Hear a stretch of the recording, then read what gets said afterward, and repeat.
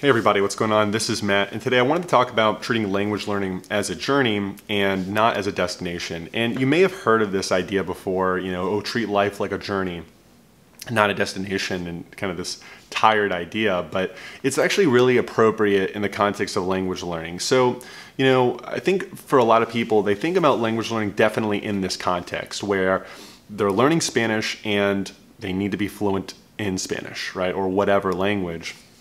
And the funny thing about it is that when you think about other skills, you very rarely think about it in that context. So, for example, if you're learning an instrument like guitar, um, you know, you don't think about it in the context of I need to reach a Jimi Hendrix level of skill before I enjoy things or I feel successful, right?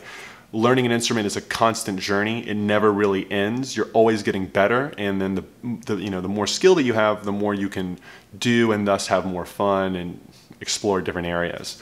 And language learning is the same idea. Now, I understand that language learning has a finite level of, of, material, right? There's only so many words to learn. There's only so many grammar concepts out there.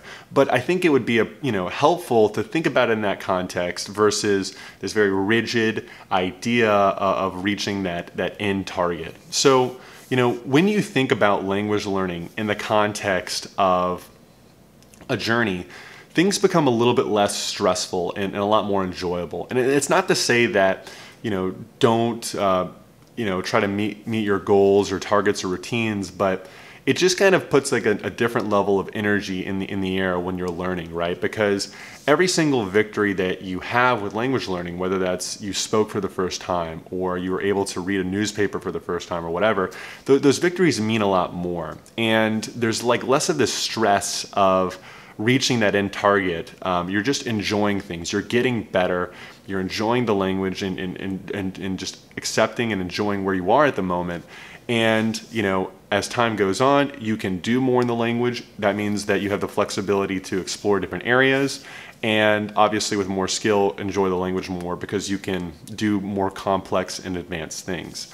And, and just having that idea, I think, is just is very helpful, right? And, and it might not seem like it, but you know, the better mood you are while doing this skill, no matter how small, is going to help you to have more results, right? And enjoy the process, lower the downside risk of quitting. And, you know, that's like the really important thing in the end of the day. The other thing about this end goal concept is that you never really know when it's going to end um, because, you know, obviously people's definition of fluency can be very varied. But if you think about it, you know, the the upper end of that goal can be very extreme, right? Like you can reach a point in language learning where you know all you're really doing is trying to minimize your accent and really minimize uh, grammar mistakes. And you know, um, for a lot of people, they, don't really want to get to that level. Um, and uh, you know, it may not even be worth it with regards to your goals. So, you know, for example, there's people that live in, in countries that they've been living there for 10, 10, 15 years and they still have an accent.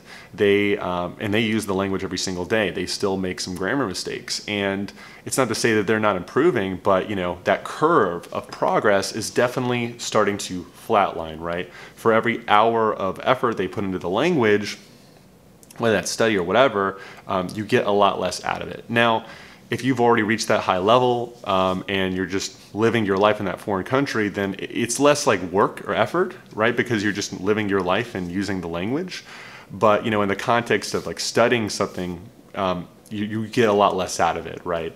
And hopefully, you get to a point where you don't really need to study a foreign language, right? You're just reading. You're just living in that country and you're getting better, right? And it doesn't matter that the curve has flatlined because you've already reached this high level of skill where you're enjoying things and you incrementally get better.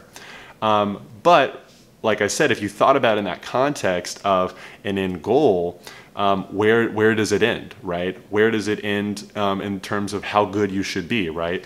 Do you need to be flawless in the language? Um, in a lot of cases, you don't. And the thing is, when you think about it in that context of a journey, um, you know, it just gives you a lot more flexibility too, right? Um, because I think there's some people that they want to they want to learn another language, but they, they feel like ah, I'm not I'm not fluent yet. I can't I can't do this, um, or I'm afraid of losing all this effort and time that I put into this first language. Well, it depends on the context, but you know, don't be afraid to go explore those other languages. You know, the language isn't going anywhere.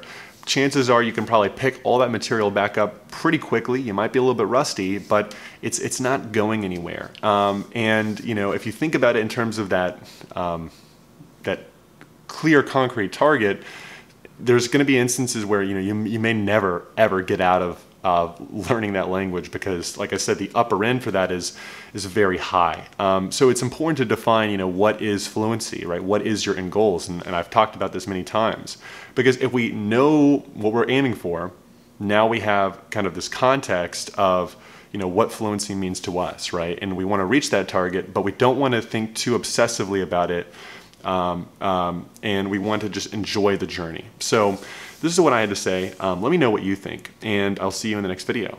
Take care.